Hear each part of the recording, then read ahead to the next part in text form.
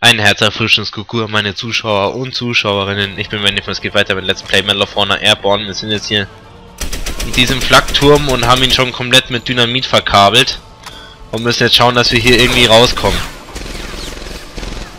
Irgendwie ist gut, wenn überall diese Elite-Soldaten rumstehen. Na gut. Immer dem Kabel nach. Nee. Weiß gar nicht, was ihr habt.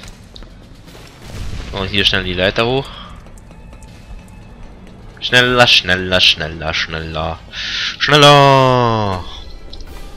Ich komme hier nicht hoch. Ich komme hier nicht hoch. Hallo.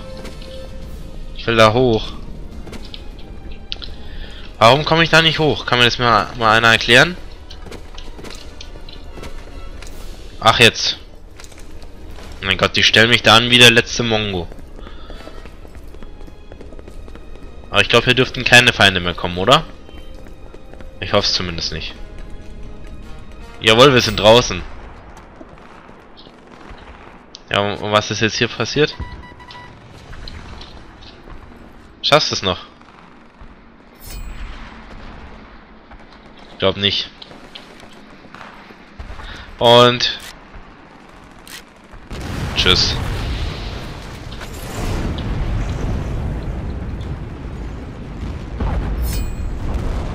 Flakturm zerstört, Ziel erreicht.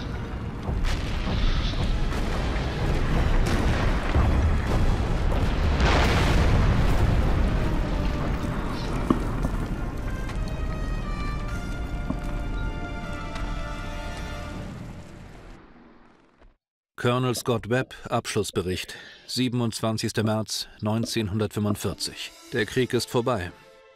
Das einst so mächtige Deutschland liegt in Trümmern.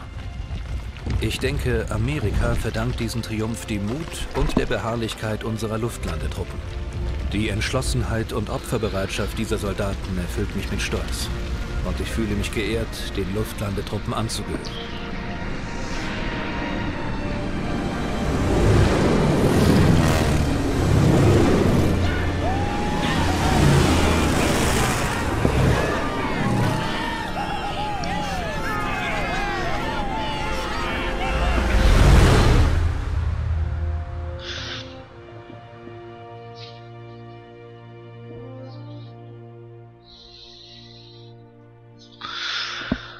Ja Leute, das war's mit Let's Play Medal of Honor Airborne. Ich hoffe, euch hat's gefallen, mir auf jeden Fall.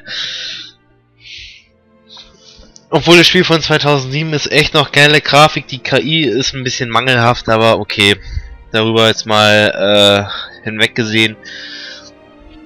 Das Spiel hat jetzt eine nicht allzu lange äh, Spieldauer eben.